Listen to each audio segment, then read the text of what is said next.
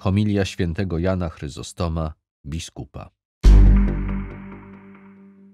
Modlitwa i rozmowa z Bogiem stanowi najwyższe dobro.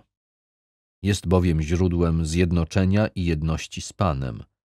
I podobnie jak oczy cielesne, patrząc na światło, zostają oświecone, tak samo i duch, zatopiony w Bogu, doznaje oświecenia Jego nieomylnym światłem.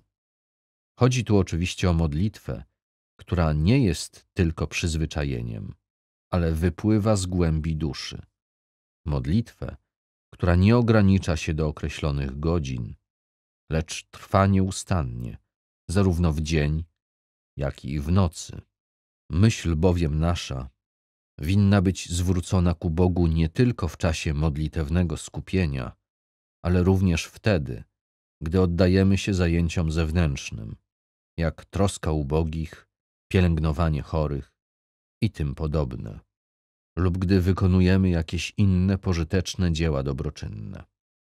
Wówczas także nasze myśli i pragnienia powinny tkwić w Bogu, aby to, co czynimy, było zaprawione solą Bożej miłości, dzięki której stałoby się przyjemnym pokarmem dla Pana wszech rzeczy. Jeżeli takiej modlitwie poświęcimy większość naszego czasu, to przez całe życie będziemy korzystać z zysku, który z niej wypływa. Modlitwa jest światłem duszy, prawdziwym poznaniem Boga i pośredniczką między Nim a ludźmi.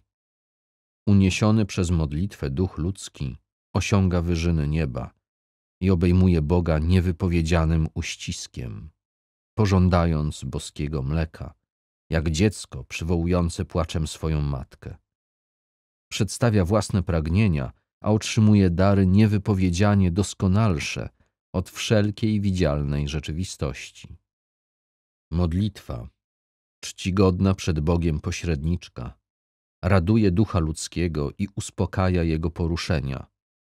Nie myśl jednak, że modlitwa, o której mówię, polega na słowach. Jest ona bowiem przede wszystkim pragnieniem zwróconym ku Bogu, niewysłowionym przywiązaniem się do Niego i nie pochodzi od człowieka, ale stanowi dar Bożej łaski.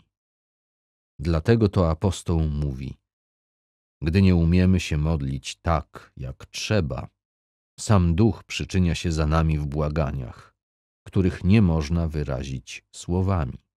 Jeżeli Pan udzieli komuś daru takiej modlitwy, ten posiada nieprzebrane bogactwo i pokarm niebieski, nasycający duszę.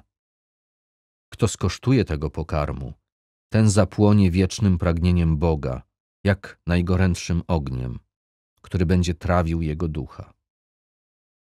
Uprawiając ze szczerością modlitwę, przyozdabiaj swój dom skromnością i pokorą, aby jaśniał światłem sprawiedliwości. Upiększaj go dobrymi czynami, jak wyborną blachą błyszczącą, a w miejsce murów i ozdobnych kamieni uświetnij go wiarą oraz wielkodusznością. Ponad tym wszystkim niech się wznosi modlitwa jako uwieńczenie domowego budynku, który wznosisz dla Pana.